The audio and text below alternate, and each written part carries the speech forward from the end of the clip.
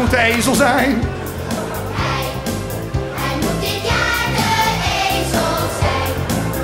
Ik moet de ezel zijn. Want toen ik het hoorde, ging ik door de grond.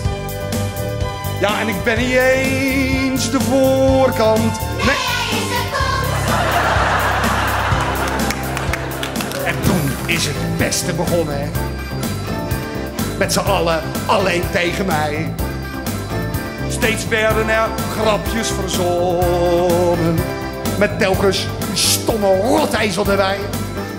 Wat kost dat nou, Harry? Ezeltje rijden? of ezeltje prik. Hup een pen in mijn rug. Of hou jij, Harry, je hoevenis bij je?